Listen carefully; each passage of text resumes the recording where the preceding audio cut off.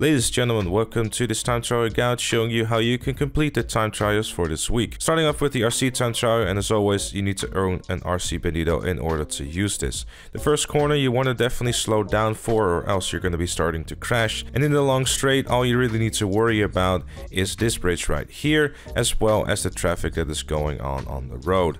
During this section with all the corners you just want to take it slow and as you exit that bit right there you want to let go of your acceleration so you don't flip out as soon as you land. When you go over these bridges like we're doing a lot here, you want to make sure that you don't have your acceleration button pressed or else your wheels will still be spinning and the RC Bandito will do a bunch of funky stuff that you don't want it to do. Moving further on in this section right here, as you're taking the left turn, again, let go of the acceleration and don't try to hit that rock. It will lose you a few seconds, but it's not that big of a deal. The main thing you really want to be worrying about during this RC time trial really is going to be the pedestrians, especially during the tighter sections that we started out in and are going to head in right now. As you can see, that woman was just going for her Sunday walk and you just interrupted it, which is totally fine, but it's definitely something you want to avoid crashing into as it will lose you a lot of time.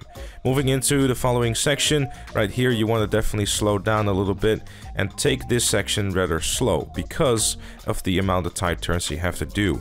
Don't be afraid in cutting some corners here and there because as per usual, the RC time trial uh, checkpoints are quite generous with how wide you can take them. This section right here is particularly difficult because of the amount of traffic that is there, but if you can just squeeze through, you should be more than fine. And it's just one more corner and you have earned yourself $100,000. Moving on to the regular time trial, this one is not as tricky as you might think because logically you would have to go through all the dirt roads and all that stuff to get to the other side of the map. However, there's a faster and a better way. Now this is of course by using the highway or the freeway or the motorway, whatever part of the world you're from.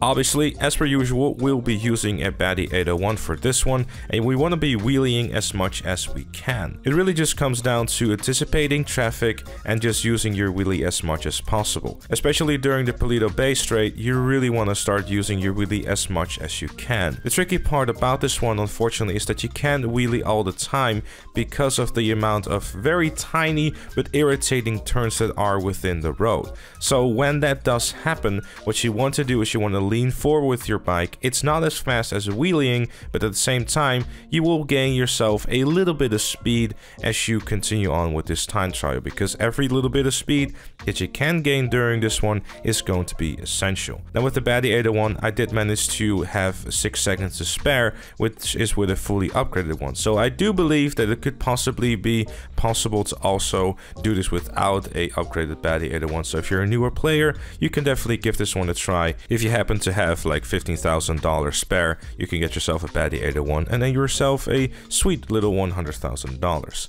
Other vehicle options are definitely a thing too in this one. Cars are, in my opinion, a more comfortable way of trying to beat this. Stuff like the Vestiaire, the Pariah, or any high top speed super or sports car or any other car for that matter will do you very nicely. You don't need a lot of cornering ability in this one honestly, maybe a little bit of acceleration and don't have something extremely slow, but overall you don't have to worry too much about how to beat this one because it is relatively easy.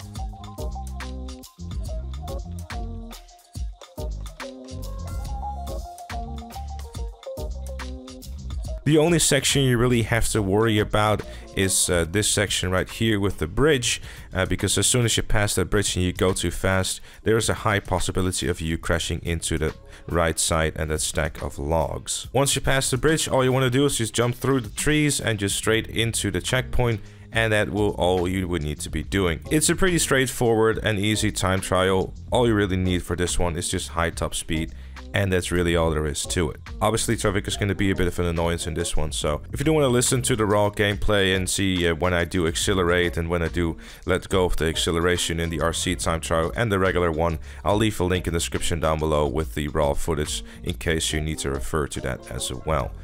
But with all that said and with all that done, that was it for this one. Thank you also very much for watching. Leave a like if you enjoyed, subscribe for more, and I'll see you all later.